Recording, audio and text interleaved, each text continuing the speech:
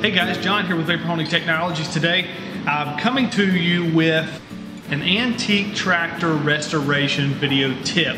Uh, what we have here is a International Harvester Company carburetor body.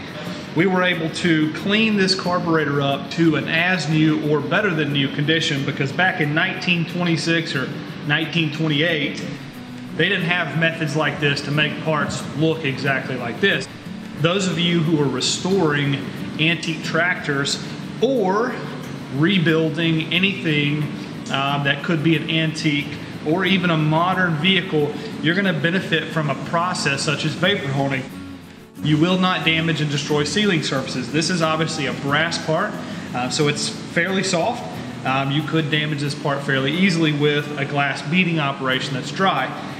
Before we started, you could not actually see the nameplate on this carb, uh, so you could not identify the part. Now we have actually cleaned the identification plate on the body, so that's gonna help you identify and rebuild the part easier.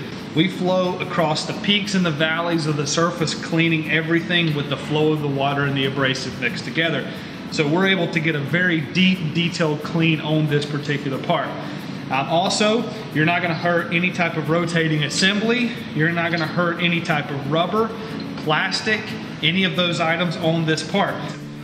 But we did not damage or warp the butterfly valves, any of that stuff in this part.